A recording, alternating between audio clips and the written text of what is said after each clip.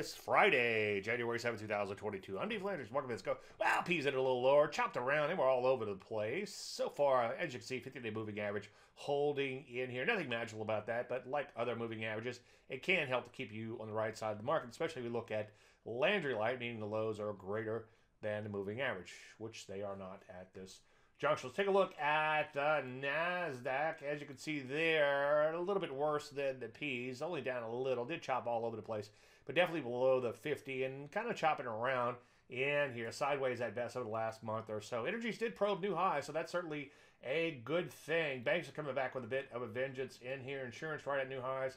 A lot of other areas, though, kind of all over the place, and some areas beginning to break down a little bit like software. So this is somewhat of a concern. So the point I'm trying to make is it's back to being pretty mixed out there. And when it's like this, for a trend follower, choppy and sideways, best thing to do is to mostly sit on your hands. So sit tight for now.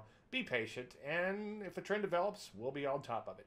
Any questions, as usual, David, DaveLandry.com. I'm Dave Landry, and you start.